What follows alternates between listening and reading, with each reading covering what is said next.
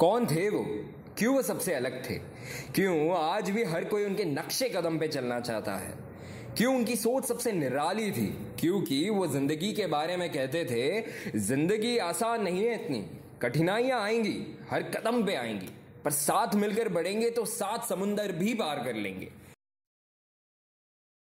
हाम भरी ने हैया माँ, चल छलांग गगन माँ भरिए। तेज लिसोटा पुरुषार्थ ना ने चमकारा बुद्धि ना करिए। દગ દગ દગ દગ દોડ લગાવી આગળ સૌથી વધીએ પૂજે દુનિયા જીતને તો કેમ પાછળ રહીએ ऐसी ही सोच हमारी नाती और उनके बच्चों के लिए उन्होंने देखी थी हम बात कर रहे हैं उनकी जो हमारे सबके आदर्श है और हमारी संस्था की नींव है कच्छी दशा ओसवाल नाती के भीष्म पितामह श्री शिवजी कुंवर जी विकमसी आखिर ऐसी सोच और दृष्टि जैसे गुण उन्हें कहां से मिले आइए जानते हैं ये कहानी है 1900 गुजरात कच्छ के रानपर गाँव की, जहाँ एक किसान अपने बच्चों को किसान नहीं, बल्कि कुछ और ही बनाने के सपने बन रहा था। हम बात कर रहे हैं उदार दृष्टि वाले श्री कुंवर जी श्याम जी विकमसी की। इन्हीं बच्चों में से एक थे श्री खिमजी भाई, जिनका जन्म 1909 में हुआ और उनकी परवरिश में उनके माता पिता के अलावा एक ज्ञानी पुरुष श्री जादव जी भाई व्यास का भी बड़ा हाथ था। जो श्री सिद्ध क्षेत्र जैन बालाश्रम पालीताना के गृहपति थे और गांधीवादी भी थे। उनका मानना था कि हर बच्चा अपने जीवन में ऊँचा लक्ष्य पाने का जज्बा रखे। खिमजी भाई इसी जज्बे के साथ बंबई आए।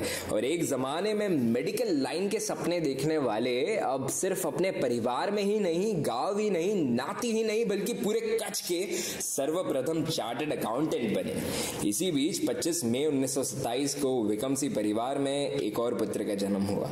उसका नाम शिवजी रखा गया। भले ही कुंवर जी भाई ने इतनी पढ़ाई और धन रूपी सफलता ना पाई हो, फिर भी उन्होंने अपने परिवार को पढ़ाई करने की, स्वस्थ रहने की घोर परिश्रम करने की और व्यवहारिक बुद्धि के गुणों का महत्व समझाया और उनमें पिरोया वहीं खिमजी भाई अब बंबई के काफ़ी मशहूर चार्टर्ड अकाउंटेंट्सों में जाने जाने लगे और 1936 में उन्होंने खुद की कंपनी खिमजी, कुंवरजी एंड को की स्थापना की और उन्हें ही अपनी प्रेरणा मानते हुए शिवजी भाई ने भी बंबई जाने का फैसला किया और वहीं अपनी प्राथमिक शिक्षा प्राप्त की। अब आया विश्व युद्ध दो 1942 जापान ने भारत पर हमला कर दिया था, जिसका काफ़ी असर बंबई पर भी पड़ा। और सरकार ने नागरिकों को, खास करके औरतों और बच्चों को बंबई छोड़कर सुरक्षित रहने को कहा। इन सब के साथ शिवजी भाई ने भी शहर छोड़ा और अपनी आगे की पढ़ाई को श्री महावीर जैन चारित्र कल्याण रत्न आश्रम में करने का फैसला किया। इस संस्था में दाखिल होने के बाद ही धीरे धीरे मानो उनके चरित्र और सोच में काफ़ी गहरे बदलाव आने लगे। यहाँ उनकी मुलाकात गुरु द्रोणाचार्य समान श्री चारित्र विजय जी महाराज साहेब और श्री कल्याण चंद्र जी महाराज साहेब से हुई, जिन्होंने उनके जीवन को एक नई दिशा दी। गुरुओं ने उन्हें यह सिखाया कि कैसे साधारण जीवन जीकर भी आध्यात्मिकता की प्राप्ति हो सकती है। 1946 में यहाँ से शिक्षा प्राप्त करने के बाद शिवजी भाई ने बम्बई की ओर कदम रखा। उनका मन आगे इंजीनियरिंग करने को किया, लेकिन उनके प्रेरणा स्वरूप बड़े भाई, यानी खिमजी भाई ने उन्हें चार्टर्ड अकाउंटेंसी का महत्व समझाया और उसमें ही आगे बढ़ने की सलाह दी। उन्होंने अपने भाई की सलाह मान ली और सीए बनने की ठान ली और बंबई के मशहूर आर ए पोदार कॉलेज से अपनी ग्रेजुएशन पूरी की। इसी बीच उन्होंने श्री केडियो जैन विद्यार्थी ग्रह, जो अब हम वीर जी लदा भाई केडियो जैन विद्यार्थी ग्रह के नाम से जानते हैं, उसे अपना दूसरा घर बना लिया था। उस समय विद्यार्थी ग्रह में गृहपति के ना होने पर उन्होंने बाकी विद्यार्थियों के साथ मिलकर इसकी कमान संभाली, जिसकी परवानगी उन्हें श्री भगवान जी अर्जन खिमजी जो उस समय के मैनेजिंग ट्रस्टी थे, उनसे मिली। कमान संभालना मानो खून में था। उनके पिता कुंवर जी भाई अपने समय में गाँव के सरपंच यानी सर्वोच्च पटेल थे। सीए की आर्टिकलशिप उन्होंने अपने बड़े भाई की कंपनी के के सी में ही करने का सोचा। अगर हम खिमजी भाई की फिर बात करें तो हमने उन्हें एक प्रेरणा स्वरूप और बड़े भाई की तरह तो देखा ही है, लेकिन उन्होंने शिवजी भाई के जीवन में गुरु की भूमिका भी निभाई। उन्होंने शिवजी भाई को काम के आचार विचार समझाए, जैसे ईमानदारी, निष्ठा, इंसानियत और कई सारे गुण। खिमजी भाई, जो शिवजी भाई के बड़े भाई थे, चार्टर्ड अकाउंटेंट थे, वो उनके दूसरे गुरु थे। खिमजी भाई ने उनको ऑनेस्टी और एथिक्स सिखाया प्रोफेशन में तो जब भी कोई क्लाइंट फ़ीस नहीं देता था तो नॉर्मली क्या होता है कि उसकी सेवा नेक्स्ट ईयर बंद कर देते हैं। बट खिमजी भाई ने बोला, नहीं, ऐसा नहीं करना चाहिए। अपने को क्लाइंट की मजबूरी समझनी चाहिए। उनकी मजबूरी होगी तभी नहीं देता है। तो वैसे उनको सेवा देते रहना चाहिए। और ऐसा भी हुआ है कि आठ नौ साल बाद में वो क्लाइंट आके पैसा देके जाता है। तो ये प्रमाणिकता खिमजी भाई से उन्होंने सीखी थी। उन्नीस ये साल शिवजी भाई के जीवन का सबसे महत्वपूर्ण साल था, क्योंकि इसी साल उन्होंने अपने नाम के आगे सीए का पद हासिल कर लिया था और वो केकेसी के भागीदार बने। इसी साल के अंत में, यानी दो दिसंबर को, उनका विवाह श्रीमती जवेर बाई के साथ हुआ। शिवजी भाई ने 15 अगस्त उन्नीस में नाती के बच्चों के भविष्य को ध्यान में रखते हुए श्री केडियो विद्यार्थी संघ की स्थापना की। ये संस्था नाती की एकमात्र ऐसी संस्था है, जो छात्रों के लिए छात्रों द्वारा ही चलाई जाती है। अगर हम अब्राहम लिंकन को याद करें तो वो कहते हैं of the students by the students for the students इस संस्था की स्थापना के पीछे शिवजी भाई का यह लक्ष्य था कि नाती का हर बच्चा प्रत्येक क्षेत्र में आगे बढ़े और ये संस्था, शिक्षा, खेल, सांस्कृतिक कार्यक्रम, नोटबुक वितरण, लालजी रामजी बुक बैंक योजना जैसी कई सारी गतिविधियों के अंतर्गत बालकों के विकास का भार संभालती है।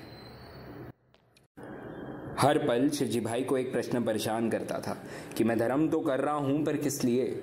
इस प्रश्न का उत्तर उन्हें उन्नीस सौ इक्यासी में मिला जब वो विपासना साधना के संपर्क में आए। विपासना ध्यान की एक प्राचीन तकनीक है, जिसकी शुरुआत आज से तकरीबन 2500 साल पहले गौतम बुद्ध ने की थी। विपासना के संपर्क में आने के बाद मानो शिवजी भाई को अपने सारे सवालों के जवाब मिल गए थे। वहाँ उनके गुरुजी श्री सत्यनारायण गोइंका जी ने उनको व्यवसाय, परिवार जैसे सभी भौतिकवादी कर्तव्यों के साथ आध्यात्मिक पद का पालन करने के लिए प्रोत्साहन दिया। वो विपासना से इतने प्रभावित हुए कि उन्होंने अपने सारे पुत्र और पुत्र वधु को भी विपासना के मार्ग पर चलने के लिए प्रोत्साहित किया। उन्नीस ये साल उनके जीवन का सबसे कठिन समय था, क्योंकि उनके तीन भाइयों का देहांत दो महीनों में हुआ। तीन भाइयों में उनके राम समान श्री खिमजी भाई का भी समावेश था। उन्हें ऐसा लगा जैसे उनके सर पे से बड़ों की छत्र छाया ही छीन ली गई हो। लेकिन विपासना का ध्यान उनके जीवन में गुरुओं का साया और उन्हें अपने बड़ों के द्वारा दिए गए सीख और संस्कारों का पालन करके उन्हें हमेशा जीवंत रखा और इन कठिनाइयों में से गुजरने की शक्ति दी। उन्होंने अपना सारा जीवन शिक्षण क्षेत्र की सेवा में लगाया। उनका कहना था कि आज मैं जो भी हूँ सिर्फ़ और सिर्फ़ इन संस्थाओं के वजह से हूँ, इसलिए वो हमेशा से एक चीज़ में बड़ा माना करते थे। वो है प्रति आभार। उन्होंने हमेशा से पद के लिए नहीं, बल्कि संस्था के लिए काम किया है। शिवजी भाई, कभी भी पद या पोजीशन के लिए काम नहीं करते थे। हमेशा संस्था के लिए ही काम करते थे। एक उदाहरण बताऊँ आपको तो विपशना ध्यान में वो सहायक आचार्य की पद पे विराजित थे। जब ये ग्लोबल पकौड़ा जब पास में देख रहे हैं, इसका उद्घाटन हुआ बहुत साल पहले, तभी अपने देश के राष्ट्रपति आए हुए थे। बहुत बड़ा समारोह था। तो शिवजी भाई ने काफ़ी दिन तक वहाँ पे काम किया एज अ वॉलंटियर दो सहायक आचार्य थे। और जिस दिन उद्घाटन था, उन्होंने अपने सह कार्यकर्ताओं से पूछा भी क्या काम बाकी रह जाता है? तो उनके सह कार्यकर्ताओं ने फीडबैक दिया। कि कोई बाकी नहीं है और आप आपकी जो निश्चित जगह है, वहाँ पे आप विराजो फिर भी शिवजी भाई ने उनका मन माना नहीं। उन्होंने जो विशिष्ट आमंत्रित मेहमान थे, जो वीआईपी जो प्रेसिडेंट खुद आए थे और उनकी वजह से और बहुत सारे वीआईपी थे, उनकी जो पादुकाएँ थी, बूट और चप्पल, उनको संभालने का काम अपने हाथ हाथ में ले जो उनको कहा नहीं गया, फिर भी उन्होंने ले लिया। और जब तक प्रोग्राम चला, वो उन्होंने पूरी ध्यान से देखा कि कहीं उसकी कुछ तकलीफ़ नहीं और वो ऐसे ही रहे, उनको पूरा उन्होंने संभाला। तो ये बहुत क्लियरली दर्शाता है कि शिवजी भाई कभी भी किसी पद या पोजीशन के लिए काम नहीं करते थे बट संस्था के हित में जो काम होता था, वही करता संस्था के लिए ही काम करते थे। धन्यवाद। उन्होंने आईसीएआई यानी कि institute of chartered accountants of India में काउंसिल मेंबर के तौर पर भी सेवा दी थी। और उन्होंने अपने दो बेटों को भारत की सर्वोच्च संस्था के प्रमुख पद पर विराजित होते हुए भी देखा, जो कि आईसीएआई के इतिहास में सबसे पहली बार हुआ। श्री वीर जी लदाभाई केडियो जैन विद्यार्थी गृह का नव निर्माण उनका एक सपना था, जिसको साकार करने के लिए उन्होंने बाकियों के साथ रात दिन मेहनत करके और अंत में उसे साकार होते हुए भी देखा। आप कभी भी उनके पास कोई भी समस्या लेकर जाओ। यह गारंटी थी कि बिना हल के आप वापस नहीं लौटोगे। मानो कोई कहता हो कि कोशिश कर हल निकलेगा। आज नहीं तो कल निकलेगा। अर्जुन के तीर सा बन। रेगिस्तान में भी जल निकलेगा। मेहनत कर, हौसला रख। बंजर ज़मीन से भी फल निकलेगा। कोशिश कर, हल निकलेगा। ताकत जुटा, हिम्मत को आग दे। समुद्र के खारे पानी में भी अमृत जल निकलेगा। कोशिशें जारी रख कुछ कर गुजरने की। कोशिशें जारी रख कुछ कर गुजरने की। जो आज थमा थमा सा है, वो कल चल निकलेगा। कोशिश कर, हल निकलेगा। डर मत, रात कितनी भी काली हो। डर मत, रात कितनी भी काली हो। सुख का सूरज ज़रूर निकलेगा अंधकार कितना भी छाया हो अज्ञान का जला ज्ञान का दीपक, रोशनी का सवेरा फिर निकलेगा।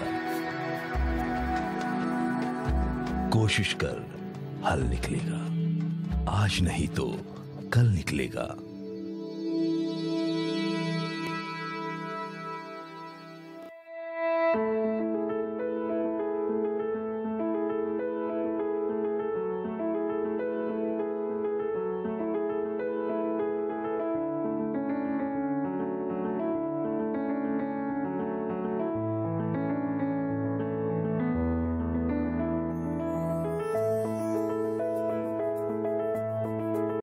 ગ્રહના નવસર્જન પછી ફક્ત વિદ્યાર્થી ગ્રહનું જ નહીં, પણ સમગ્ર જ્ઞાતિનું ભાવિ ખૂબ જ ઉજ્જવળ છે. જ્ઞાતિના વડીલોને એ ચિંતા હતી કે આ ખેતી પ્રધાન સમાજને ઉપર કેમ લાવવો? વિદ્યાર્થી ગ્રહની સ્થાપના કરી કે જેમાં દેશથી પરદેશથી છોકરા આવી રહી અને અભ્યાસ કરી શકે. અને એને લીધે જ્ઞાતિના ઘરોમાં ઉચ્ચ શિક્ષણ પહોંચ્યું. એ ખૂબ જ સમૃદ્ધ અને સુખી થયા. પરંતુ જ્યાં શિક્ષણ પહોંચ્યું નથી, તેને પણ જો આપણે ઉચ્ચ શિક્ષણ આપી ન શકીએ, તો એ જ્ઞાતિના વડીલોનું સ્વપ્ન નકામું જાય. જ્યાં સુધી આ છેલ્લા ઘર સુધી આપણે પહોંચી ન શકીએ, ત્યાં સુધી વિદ્યાર્થી ગ્રહનું યજ્ઞ ચાલુ જ રહેશે. आज हम श्री केडियो स्टूडेंट्स एसोसिएशन की ओर से इस महान जीव को सलामी देते हैं और इन महात्मा को स्मरांजलि देते हुए कहना चाहते हैं, शिवजी भाई आर आई पी जी हाँ रेस्ट इन पीस नहीं, बल्कि शिवजी भाई रिटर्न इफ़ पॉसिबल